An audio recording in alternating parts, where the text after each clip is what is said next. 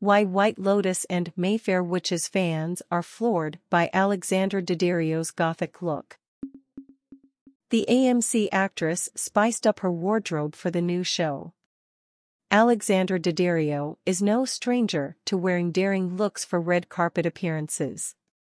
In light of her new show Mayfair Witches premiering on January 8, she showed off a different side of herself with a bold fashion choice. Back in December, the White Lotus actress attended the Los Angeles premiere for the AMC series. While folks may be familiar with her out there ensembles, Alexandra embraced the show's genre by arriving to the Hollywood event in a three-tiered gothic-inspired black and gold strapless gown. The dress featured a polka dot pattern and a lace texture, which further accentuated the heightened drama of the look.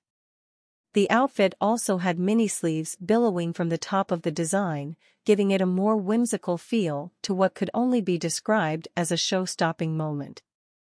As for her accessories, she donned a black beaded choker and a thick black leather belt.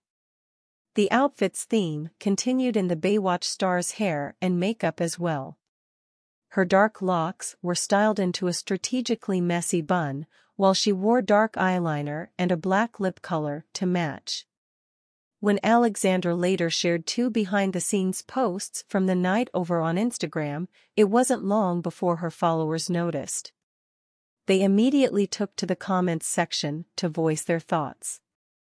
The dress is absolutely beautiful, one person wrote. You look great.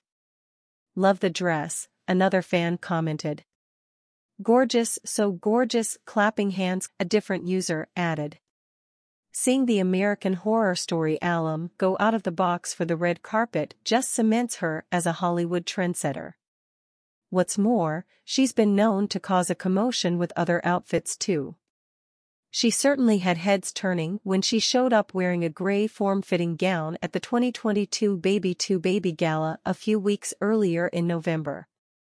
If this look is what fans can expect when Mayfair Witches premieres, we can't wait to see what other Gothic-inspired outfit Alexandra will wear next.